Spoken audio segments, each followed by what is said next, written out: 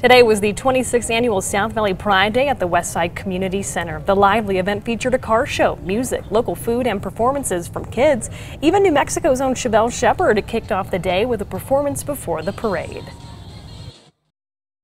We have to support New Mexico, we have to support New Mexicans, uh, and we're able to do that as we celebrate the South Valley.